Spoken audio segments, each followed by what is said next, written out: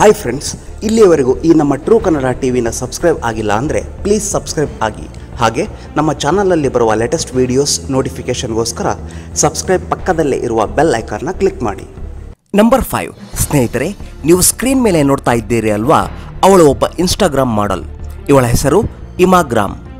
ಏನಪ್ಪ ಈ ಹುಡುಗಿಯಲ್ಲಿ ಸ್ಪೆಷಾಲಿಟಿ ಏನಿದೆ ಅಂದ್ಕೊಳ್ತಾ ಇದ್ದೀರಾ? ಸ್ಪೆಷಾಲಿಟಿ ಇದೆ.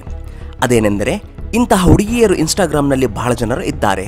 ಆದರೆ ನಿಮಗೆ ಇಲ್ಲೇ ಒಂದು ಶಾಕಿಂಗ್ ಫ್ಯಾಕ್ಟ್ ಹೇಳಬೇಕಾಗಿರೋದು ಏನೆಂದರೆ ನಿಜಕ್ಕೂ ಈ ಹುಡುಗಿ ಭೂಮಿ ಮೇಲೆ ಇಲ್ಲ. ಹೌದು, ಈ ಹುಡುಗಿ ಭೂಮಿ ಮೇಲೇ ಹುಟ್ಟಿಲ್ಲ. ಮತ್ತು ಈ ಹುಡುಗಿ ಯಾರು ಅಂದ್ಕೊಳ್ತಾ ಇದ್ದೀರಾ? ನಿಜಕ್ಕೂ ಈ ಹುಡುಗಿ ಒಂದು ಆರ್ಟಿಫಿಷಿಯಲ್ ಇಂಟೆಲಿಜೆನ್ಸ್ ಜಪಾನ್ನಲ್ಲಿರುವ ಮಾಡಲಿಂಗ್ ಕೆಫೆ ಎನ್ನುವ ಒಂದು ಕಂಪನಿ ಈ ಆರ್ಟಿಫಿಷಿಯಲ್ ಇಂಟೆಲಿಜೆನ್ಸ್ ರೋಬೋಟ್ನ ತಯಾರಿ ಮಾಡಿದೆ.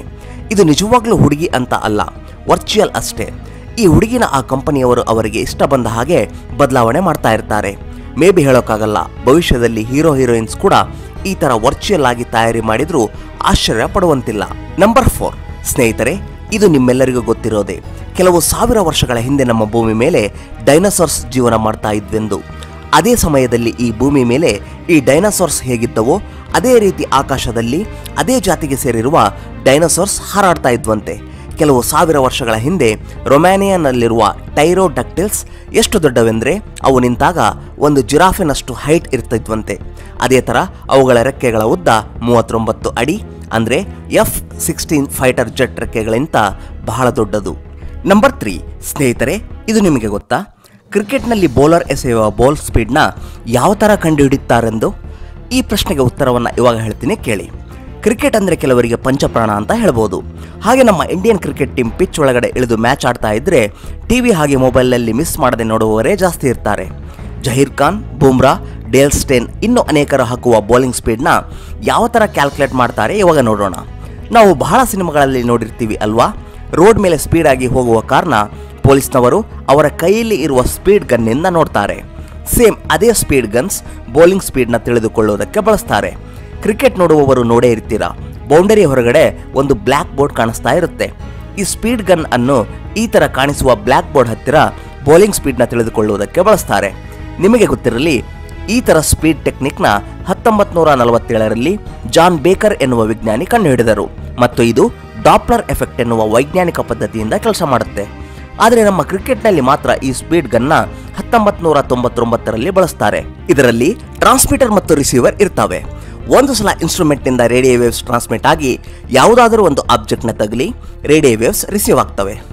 ಆ ಥರ ರೇಡಿಯೋ ವೇವ್ಸ್ ಟ್ರಾನ್ಸ್ಮಿಟ್ ಆಗಿ ಮತ್ತೆ ರಿಸೀವ್ ಮಾಡಿಕೊಂಡು ಬೌಲಿಂಗ್ ಸ್ಪೀಡ್ನ ಈ ಸ್ಪೀಡ್ ಗನ್ ಕ್ಯಾಲ್ಕುಲೇಟ್ ಮಾಡುತ್ತೆ. ಆದರೆ ಈ ಸ್ಪೀಡ್ ಗನ್ ಇನ್ಸ್ಟೆಂಟ್ ಸ್ಪೀಡ್ನ ಮಾತ್ರ ಕ್ಯಾಲ್ಕುಲೇಟ್ ಮಾಡುತ್ತೆ.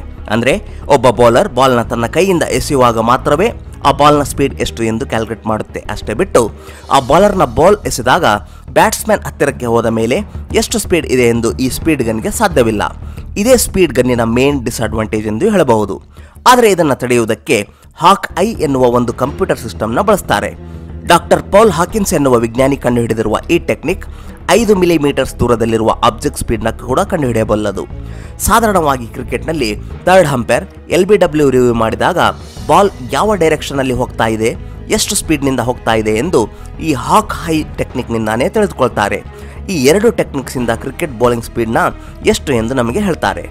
ನಂಬರ್ ಟು, ಹರ್ಷದ್ ಮೇತಾರ ಇತ್ತೀಚೆಗೆ ಬಂದಿರುವ ಸ್ಕ್ಯಾಮ್ ನೈನ್ಟೀನ್ ನೈಂಟಿ ಟು ಎನ್ನುವ ವೆಬ್ ಸೀರೀಸ್ನಿಂದ ಮತ್ತೆ ತುಂಬಾ ಫೇಮಸ್ ಆಗಿರುವ ಹೆಸರು ಹರ್ಷದ್ ಮೇಹ್ತಾ ಒಂದು ವೇಳೆ ನೀವು ಈ ಸೀರೀಸ್ನ ನೋಡಿಲ್ಲ ಅಂದರೆ ಈ ಫ್ಯಾಕ್ಟ್ ನಿಮಗಾಗಿ. ಹತ್ತೊಂಬತ್ತು ನೂರ ತೊಂಬತ್ತರ ಕಾಲದಲ್ಲಿ ಹರ್ಷದ್ ಮೇಹ್ತಾ ಅವರನ್ನ ಸ್ಟಾಕ್ ಮಾರ್ಕೆಟ್ನಲ್ಲಿ ಬಿಗ್ ಬುಲ್ ಆಗಿ ಕರಿತಾ ಇದ್ರು.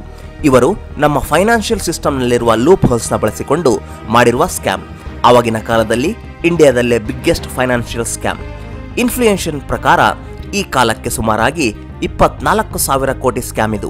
ಈ ಸ್ಕ್ಯಾಮ್ ಆದಷ್ಟು ಬೇಗ ಬೆಳಕಿಗೆ ಬರುವುದಕ್ಕೆ ಸುಚೇತಾ ದಲಾಲ್ ಎನ್ನುವ ಒಬ್ಬ ಮಹಿಳಾ ಜರ್ನಲಿಸ್ಟ್ ಪಬ್ಲಿಷ್ ಮಾಡಿರುವ ಆರ್ಟಿಕಲ್ಸ್ನೇ ಕಾರಣ. ಇವರು ತಮ್ಮ ವೃತ್ತಿಯಲ್ಲಿ ತೋರಿಸಿರುವ ನೈಪುಣ್ಯತೆಗೆ ನಮ್ಮ ಭಾರತ ಸರ್ಕಾರ ಇವರಿಗೆ ಪದ್ಮಶ್ರೀ ಅವಾರ್ಡ್ನ ಕೂಡ ಕೊಡಲಾಗಿದೆ. ಸ್ನೇಹಿತರೆ, ನೀವು ಹರ್ಷದ್ ಮೆಹ್ತಾ ಅವರ ಸ್ಕ್ಯಾಮ್ ನೈನ್ಟೀನ್ ನೈಂಟಿ ಟೂ ಬಗ್ಗೆ ಸಂಪೂರ್ಣ ಮಾಹಿತಿಯನ್ನು ತಿಳಿದುಕೋಬೇಕು ಅಂದ್ಕೊಳ್ತಾ ಇದ್ದೀರಾ? ಹಾಗಾದರೆ ಈ ಸ್ಕ್ಯಾಮ್ ನೈನ್ಟೀನ್ ನೈಂಟಿ ಟೂ ಬಗ್ಗೆ ನಮ್ಮ ಇನ್ನೊಂದು ಚಾನಲ್ ಆದ ಕನ್ನಡ ಟ್ರೆಷರ್ನಲ್ಲಿ ಸ್ಕ್ಯಾಮ್ ನೈನ್ಟೀನ್ ನೈಂಟಿ ಟೂ ಬಗ್ಗೆ ಒಂದು ವಿಡಿಯೋನ ಮಾಡಿ ಸಂಪೂರ್ಣ ಮಾಹಿತಿಯನ್ನು ನೀಡಲಾಗಿದೆ. ಈ ವಿಡಿಯೋ ಲಿಂಕ್ನ ಡಿಸ್ಕ್ರಿಪ್ಷನ್ನಲ್ಲಿ ಕೊಡಲಾಗಿದೆ. ತಪ್ಪದೆ ವೀಕ್ಷಣೆ ಮಾಡಿ. ಹರ್ಷದ್ ಮೇಹ್ತಾ ಒಬ್ಬ ಸ್ಕ್ಯಾಮರ್ ಎನ್ನುವುದಕ್ಕಿಂತ ಒಬ್ಬ ಜೀನಿಯಸ್ ಎಂದು ಅಂತೀರಾ? ನಂಬರ್ ಒನ್ ಸ್ನೇಹಿತರೆ, ಈ ಫ್ಯಾಕ್ಟ್ನಲ್ಲಿ ಮಹಿಳೆಯರಿಗೆ ಮಾತ್ರ ಯಾಕೆ ಪಿರಿಯಡ್ಸ್ ಅಥವಾ ತಿಂಗಳ ಮುಟ್ಟು ಬರ್ತಾವೆ, ಉಳಿದಿರುವ ಜೀವಿಗಳಿಗೆ ಬರಲ್ವಾ ಎನ್ನುವುದರ ಬಗ್ಗೆ ಇವಾಗ ತಿಳ್ಕೊಳ್ಳೋಣ. ಮೊದಲಿಗೆ ಮಹಿಳೆಯರಿಗೆ ಪಿರಿಯಡ್ಸ್ ಹೇಗೆ ಬರುತ್ತವೆ ಎನ್ನುವುದರ ಬಗ್ಗೆ ನೋಡೋಣ. ನಮ್ಮ ಮಾನವ ಜಾತಿ ಉಗಮವಾಗಿ ಬೆಳೆಯುವುದಕ್ಕೆ ನಮ್ಮ ನೆಕ್ಸ್ಟ್ ಜನರೇಷನ್ ಮುಂದುವರಿಸಬೇಕು ಅಂದರೆ ಅದು ಮಹಿಳೆಯರಿಂದನೇ ಸಾಧ್ಯವಾಗುತ್ತೆ. ಒಬ್ಬ ಮಹಿಳೆಯ ದೇಹದಲ್ಲಿ ಬಾಲ್ಯದಿಂದ ಮುಪ್ಪಿನವರೆಗೂ ಅನೇಕ ತರಹದ ಮಾನಸಿಕ ಮತ್ತು ಶಾರೀರಿಕ ಬದಲಾವಣೆಗಳು ಆಗುತ್ತವೆ. ಅವುಗಳಲ್ಲಿ ಒಂದು ಬದಲಾವಣೆಯೇ ಈ ಋತುಚಕ್ರ ಅಥವಾ ಮುಟ್ಟು. ಸಾಮಾನ್ಯವಾಗಿ ಈ ಋತುಚಕ್ರ ಪ್ರಾರಂಭ ಆಗೋದು ಎಂಟರಿಂದ ಹದಿನೈದು ವರ್ಷಗಳ ನಡುವಿನ ಹುಡುಗಿಯರಲ್ಲಿ. ಒಂದು ಸಲ ಪೀರಿಯಡ್ ಸ್ಟಾರ್ಟ್ ಆಗ್ತಾ ಇದ್ದಾವೆ ಅಂದರೆ ಆ ಮಹಿಳೆ ಗರ್ಭಿಣಿ ಆಗುವುದಕ್ಕೆ ಅರ್ಹತೆ ಪಡೆದಿದ್ದಾಳೆಂದು ಅರ್ಥ. ಪೀರಿಯಡ್ ಸ್ಟಾರ್ಟ್ ಆದ ನಂತರ ಪ್ರತಿ ತಿಂಗಳಿಗೆ ಒಮ್ಮೆ ಪೀರಿಯಡ್ ಸಾಮಾನ್ಯವಾಗಿ ಮಹಿಳೆಯರಲ್ಲಿ ಆಗುವ ಸ್ವಾಭಾವಿಕ ಪ್ರಕ್ರಿಯೆ. ಮಹಿಳೆಯ ರಿಪ್ರೊಡಕ್ಟಿವ್ ಸಿಸ್ಟಮ್ನಲ್ಲಿ ಅಂಡಾಶಯ, ಅಂದರೆ ಓವರಿಯಿಂದ ಪೂರ್ತಿಯಾಗಿ ತಯಾರಾಗಿರುವ ಒಂದು ಅಂಡ, ಅಂದರೆ ಎಗ್, ಫಿಲೋಪಿಯನ್ ಟ್ಯೂಬ್ನಿಂದ ಗರ್ಭದ ಒಳಗಡೆ ಹೋಗುತ್ತೆ. ಹಾಗೆ ಪ್ರತಿಯೊಂದು ತಿಂಗಳು ಗರ್ಭಕೋಶದಲ್ಲಿ ಎಂಡೋಮೆಟ್ರಿಯಂ ಲೇಯರ್ ಕೂಡ ಬೆಳೆಯುತ್ತೆ. ಆ ಅಂಡಾಶಯ ಮತ್ತು ಎಂಡೋಮೆಟ್ರಿಯಂ ಲೇಯರ್ ಎರಡು ಸಂಪೂರ್ಣವಾಗಿ ತಯಾರಾದ ನಂತರ ಆ ಎಗ್ ಜೊತೆ ಗಂಡಸರ ವೀರ್ಯ, ಅಂದರೆ ಸ್ಪರ್ಮ್ ಕೂಡಿಲ್ಲ ಅಂದರೆ ಆ ಎಗ್ ಹೊಡೆದು ಹೋಗುತ್ತೆ. ಈ ಥರ ಒಡೆದಿರುವ ಎಗ್ ಅನ್ನು ಹೊರಗಡೆ ತರಿಸುವುದಕ್ಕೆ ಈ ಎಂಡೋಮೆಟ್ರಿಯಂ ಲೇಯರ್ ಗರ್ಭಕೋಶದಿಂದ ವಿಭಜನೆಯಾಗಿ ಹೊರಗಡೆ ಬಂದು ಬಿಡುತ್ತೆ. ಅದೇ ಪಿರಿಯಡ್ಸ್ನಲ್ಲಿ ಬರುವ ಬ್ಲಡ್. ಇದು ಮಹಿಳೆಯರಲ್ಲಿ ನಡೆಯುವ ರಿಪ್ರೊಡಕ್ಟಿವ್ ಮತ್ತು ಮುಟ್ಟಿನ ಸ್ವಾಭಾವಿಕ ಪ್ರಕ್ರಿಯೆ. ಸರಿ, ಇವಾಗ ಮನುಷ್ಯರಿಗೆ ನಡೆದಿರುವ ತರಾನೇ ಪ್ರಾಣಿಗಳಿಗೆ ಕೂಡ ಪಿರಿಯಡ್ಸ್ ಆಗ್ತಾವ ಅಂದ್ರೆ ಆಗ್ತವೆ. ಆದರೆ ಎಲ್ಲ ಪ್ರಾಣಿಗಳಿಗೆಲ್ಲ. ಕೇವಲ ಕೆಲವಕ್ಕೆ ಮಾತ್ರ.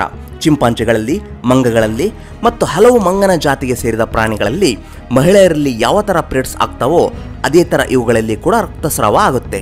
ಅಷ್ಟೇ ಅಲ್ಲ, ಚೈನೀಸ್ ಮತ್ತು ಅಮೆರಿಕನ್ ವಿಜ್ಞಾನಿಗಳು ಮಾಡಿರುವ ಸಂಶೋಧನೆಗಳಲ್ಲಿ ಬ್ಯಾಟ್ಸ್ ಅಂದರೆ ಬಾವುಲಿಗಳಲ್ಲಿ ಕೂಡ ಪಿರಿಯಡ್ಸ್ ಆಗ್ತವಂತೆ. ಅದೇ ಥರ ನಾಯಿಗಳು, ಬೆಕ್ಕಗಳು, ಆಕಳುಗಳಲ್ಲಿ ಕೂಡ ಪಿರಿಯಡ್ಸ್ ಆಗ್ತವೆ. ಆದರೆ ಅವುಗಳಲ್ಲಿ ಬ್ಲೀಡಿಂಗ್ ಆಗಲ್ಲ. ಆದರೆ ಮೇಲೆ ಹೇಳಿರುವ ನಾಯಿ ಮತ್ತು ಬೆಕ್ಕುಗಳಲ್ಲಿ ಮಾತ್ರ ಇಸ್ಟ್ರೋಸ್ ಸೈಕಲ್ ಆಗುತ್ತೆ.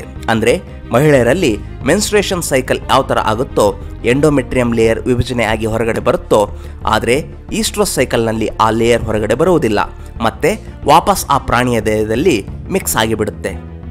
ಸ್ನೇಹಿತರೆ, ನೀವು ಹರ್ಷದ್ ಮೆಹ್ತಾ ಅವರ ಸ್ಕ್ಯಾಮ್ ನೈನ್ಟೀನ್ ನೈಂಟಿ ಟೂ ಬಗ್ಗೆ ಸಂಪೂರ್ಣ ಮಾಹಿತಿಯನ್ನು ತಿಳಿದುಕೋಬೇಕು ಅಂದ್ಕೊಳ್ತಾ ಇದ್ದೀರಾ? ಹಾಗಾದರೆ ಈ ಸ್ಕ್ಯಾಮ್ ನೈನ್ಟೀನ್ ನೈಂಟಿ ಟೂ ಬಗ್ಗೆ ನಮ್ಮ ಇನ್ನೊಂದು ಚಾನಲ್ ಆದ ಕನ್ನಡ ಟ್ರೆಷರ್ನಲ್ಲಿ ಸ್ಕ್ಯಾಮ್ ನೈನ್ಟೀನ್ ನೈಂಟಿ ಟೂ ಬಗ್ಗೆ ಒಂದು ವಿಡಿಯೋನ ಮಾಡಿ ಸಂಪೂರ್ಣ ಮಾಹಿತಿಯನ್ನು ನೀಡಲಾಗಿದೆ. ಈ ವಿಡಿಯೋ ಲಿಂಕ್ನ ಡಿಸ್ಕ್ರಿಪ್ಷನ್ನಲ್ಲಿ ಕೊಡಲಾಗಿದೆ. ತಪ್ಪದೆ ವೀಕ್ಷಣೆ ಮಾಡಿ. ಹರ್ಷದ್ ಮೆಹ್ತಾ ಒಬ್ಬ ಸ್ಕ್ಯಾಮರ್ ಎನ್ನುವುದಕ್ಕಿಂತ ಒಬ್ಬ ಜೀನಿಯಸ್ ಎಂದು ಅಂತೀರಾ? ಈ ವಿಡಿಯೋ ನಿಮಗೆ ಇಷ್ಟವಾಗಿದ್ದಲ್ಲಿ ಲೈಕ್ ಮಾಡಿ, ನಿಮ್ಮ ಫ್ರೆಂಡ್ಸ್ಗೆ ಶೇರ್ ಮಾಡಿ.